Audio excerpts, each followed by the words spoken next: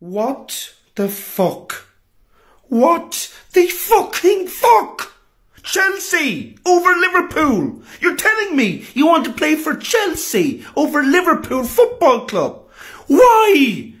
Let's talk about this. This transfer window has turned into an absolute disaster. First it was Jude Bellingham, then it was Moises Caicedo, and now Romeo Lavia. I swear Lavia wanted to join Liverpool, yet we still fucked it up. Imagine being embarrassed by Chelsea. There are people saying Chelsea's going to lose to Liverpool. I understand they have world-class CDMs like Caicedo and Lavia. Oh wait, I forgot. They can't afford them. They don't have the pull to attract players like that. They're a brokey club. So Liverpool, be ready, because tomorrow we will show why Caicedo rejected you for the better team. Kante, Kovacic, Pulisic, you bent us over and left us in the dust with Conor Gallagher. We can't even be a finished Liverpool team. Our title charge is in jeopardy. Out, Havertz, Kante, Kovacic, Pulisic. I don't give a toss about you anymore because we're signing Romeo Lavia. You rival fans better watch out because we're about to piss all over your midfields. A draw. Am I supposed to be happy with that? Because I'm fucking not. That Chelsea team is bang average, and there is absolutely no excuse to not beat them today. It's the exact same problems as we had last season, and we still haven't addressed them. Liverpool, you can have your 1-1 draw, because the next time we play against you, we're going to infiltrate you on live television. We sign Moises Caicedo, the next Sergio Busquets. Liverpool, hold that L, hold it, hold it going to walk the league again. People saying this is Arsenal's year. Liverpool being back and going back to their prime under Jurgen Klopp. We spent a billion quid just to get Mia Khalifa on live television. This club is making me question my love for the game.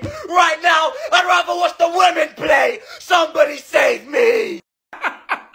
Thank you, West Ham, for making my weekend. Chelsea fans, where are you? One billion pounds spent, and you're still shit. One billion pounds spent, and you get outplayed by West Ham. And by the way, what a debut that was from Moises Caicedo.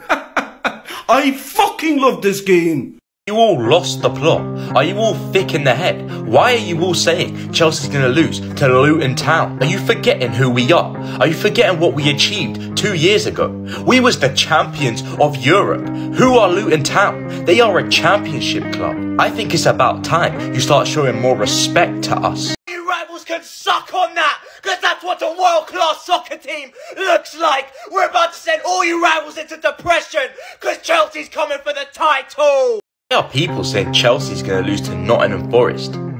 Did your mums drop you on the head when you was a child? Because you're clearly missing some brain cells. Did you not watch our last two games? We absolutely slapped around our last two opponents on our conquest to the title and becoming the new Real Madrid Here we so fucking shit!